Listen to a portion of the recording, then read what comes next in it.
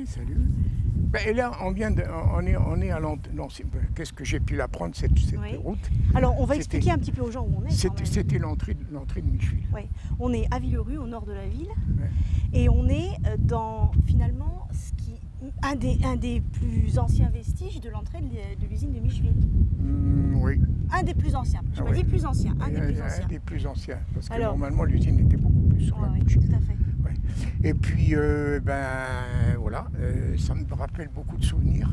Oui, Euh, tiens, la fameuse grève de 1948. 1948. Oui, Mais alors, le, portail n'était pas ici, il était un petit peu plus en, en arrière. en arrière, près du- de la porte du grand bureau là-bas. D'accord. Parce que ça, en fait, on, on oublie un peu de le dire, mais ces deux bâtiments, Ça, c'est le château Ferry. Voilà, c'était en fait ce qui était la propriété. La propriété, c'était Du lui. directeur. Voilà. À côté, c'était l'intendant qui était là. hein. Oui, oui, tout à fait. Et euh, quand tu évoques la grève de 1948, on va aller peut-être un petit peu plus loin pour voir ce fameux mur Ah oui, oh, le fameux qui a une mur. histoire un petit peu particulière et euh, qui est relié aussi à un autre euh, objet qui se trouve dans la commune de Villerue. On va aller le voir? On y va. Alors, Gilbert, Oui. on est quand même devant un mur qui a une sacrée histoire. Ah oui, Les gens l'oublient un petit peu. On est un petit peu après la, la fameuse entrée où on était de l'usine de Micheville. Et là, il y a ce mur monumental avec cette espèce de vieil appareil là. Pour toi, c'est c'est quoi? C'est un compteur électrique. hein. C'est un un- une, une- une jonction électrique. Regarde, le bout, il est coupé en bas. D'accord. Et ici, en 1948, à la fin de l'année 48, Ah, il s'est passé quelque chose. Ils étaient tous en haut. Alors, il y a cette fameuse image du peintre Ruffo. Tu te rappelles dont Oui, on avait oui, parlé oui, euh, dans, dans nos ouvrages Et il, euh, le peintre Ruffo a été le seul, le seul témoignage iconographique de cette À fameuse grève de 48. Oui, parce que les, les photos étaient interdites. hein. Oui, on va juste Même sur, descendre même faire sur le journaux. Oui, Oui, parce qu'ici, il y a des orties et s'optiques. Alors, ici, voilà. Si vous regardez le mur, là, le mur, là, par-dessus, là-bas, il y avait le haut fourneau 1 et le haut fourneau 2, Mhm, ici, juste devant. mhm. Et c'était alimenté par le haut. C'est-à-dire que les, les wagons arrivaient sur les deux, les deux avancées qu'il y a, celle-ci et puis l'autre là-bas vers le fond, Mhm. et, et ils- envoyaient la, le minerai, etc. dedans Mhm. pour, euh, pour alimenter le haut fourneau. Et alors le lien avec 1948, c'est que C'est-à-dire que on est ici, trois ans après la guerre. c'est pas ça. C'est que ici, il y avait la- la- le- l'espèce de, de- de- de soufflet là qui, qui- qui soufflait dans les hauts fourneaux pour les, Mhm. les alimenter. Il y en avait un ici et il y en avait un autre à l'autre bout. Oui, Quand ils ont tout démoli, maintenant c'est difficile de retrouver ouais, parce qu'on commence à se perdre un petit peu. Et euh, donc, il y a tout, tout ça, 1948. voilà, attends, tout ça était relié. C'est-à-dire qu'il y avait une passerelle d'ici, du, du- de l'entrée, ici, où il y avait Oui. l'horloge, là, là. Oui, la fameuse horloge qu'on a vue Voilà. rue Carnot. Voilà. Oui. La fameuse horloge, elle était juste là devant, là, pour- là, comme Oui. ça, je la- pas- bon. Et alors, les gens étaient au-dessus, pas au mur. Ici, il y avait une passerelle, ici, oui. Et ils étaient tous alimentés avec des cailloux et tout le bazar. Et il y avait les pauvres diables qui étaient à Les côté. CRS. Les Il faut CRS. expliquer qu'on est en Non, 48. c'était- pas des CRS. hein. C'était des policiers? Non, on C'était l'armée? on, on appelait ça. euh, on n'appelait pas ça Moi j'ai vu ça, ah, CRS. écoute, sur les Euh, journaux, c'était les compagnies républicaines de sécurité. hein. Ouais, Mais on explique quand même aux gens qu'en 48, on est au sortir de la guerre Ouais. et que euh, les, les ouvriers réclament quoi? Des salaires un peu plus importants, Ouais. moins de tickets de rationnement, un peu plus de, de- de Ouais. vie correcte, quoi. C'est-à-dire que, en plus, on sort de la guerre. Oui. Bon. Déjà, pendant les Allemands, c'était mieux de fermer ça, parce Mhm. qu'autrement, ils nous envoyaient à Pétauschnock, là-bas. Et eux, ben, ils ont commencé. Mais ici, le directeur, etc., il n'y en a pas un qui bougeait. Mhm.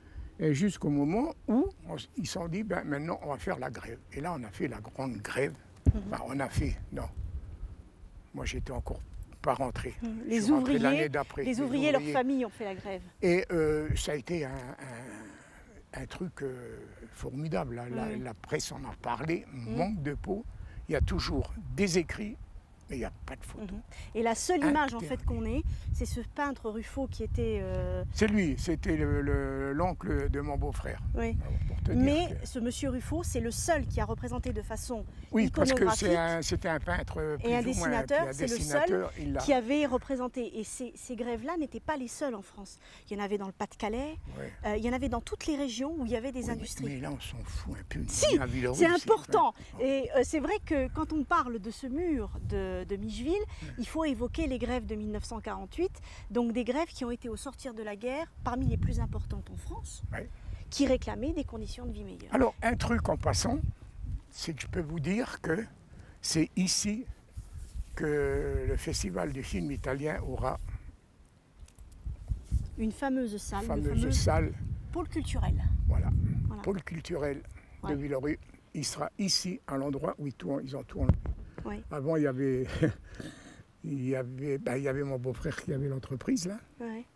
Et avant l'entreprise, c'était le. Mais ce que, ce que les gens ont du mal à imaginer, c'est que comme tu- est tu les- complètement. On, on voilà, se on, est perd perdu parce qu'il n'y a plus, pratiquement plus de bâtiments, à part ces fameux murs. Voilà. Ah, Le, le mur là, bon, il n'y a pas de problème, il restera. Mhm, Parce qu'à un moment, ils pensaient même faire une passerelle par-dessus pour rentrer par le haut. mhm. euh, des- une espèce de, sortie de secours, quoi, si tu veux. Mhm. En tout état après, de cause, on plus. peut se promener ici, parce que maintenant il y a quelques installations, mais on peut se balader ici, mais surtout demander aux gens de venir redécouvrir ce site de Micheville qui va connaître dans les années à venir Ah ben, il, il va être pas mal de euh, changements. Pas mal de changements. ben, euh, déjà, quand ils ont fait les routes là-bas de l'autre Oui. côté, un peu plus loin, Mhm, bon, moi je me rappelle encore un peu, mais s'il y a quelqu'un qui arrive derrière, il ne sait plus. mhm, tout à fait. Ça. En tout état de cause, on, vous, on propose aux gens de venir se balader sur ce site, de venir redécouvrir ce fameux mur qui a été le cadre des grèves de 1948 où les, les forces de l'ordre ont reculé. Ça, c'était quelque chose de d'un événement historique. ont reculé devant Non, les et grévistes alors, le- et notamment les, mais- les- mais c'est les- pas les ça, femmes d'ouvriers. euh, la fois là, on a eu euh, du charbon à l'œil, Mm. le bleu pour travailler. Euh, tout un tas de trucs que l'autre. Des- avantages, des avantages des avantages formidables. Mm. Alors, ce qui a pensé, c'est qu'en 49, ben, il y en a qui ont voulu faire le kiff-kiff bourricot, quoi, comme on dit. Hein la même chose que l'an 48. Seulement là, la musique n'était plus la même. Mhm. Et je crois même que c'est là où il y a eu trois, trois syndicalistes qui ont été foutus à la porte. Mhm. Je crois que c'est en 40, Voilà. 49, je crois. Mais disons que ce qui- enfin, ce qui- ce qu'il faut montrer aux gens, c'est euh, ce paysage qui est en train de changer. La nature a repris ses droits depuis 40 ans et aujourd'hui, c'est devenu une espèce de presque un, un décor de, de cinéma. Voilà. Et c'était le fameux site de Micheville. Alors, c'est Voilà. marrant parce qu'il ne restera que des murs. Mhm. Voilà. Et bien c'est sur ces paysages un petit peu sauvages. Hein, On je- va non, dire au attendez, revoir, Attendez, et je vais puis- vous dire encore quelque chose. Oui. C'est parce que ici, c'était les grands bureaux. Et voilà, c'était transformé en appartement. C'est vendu. Ouais.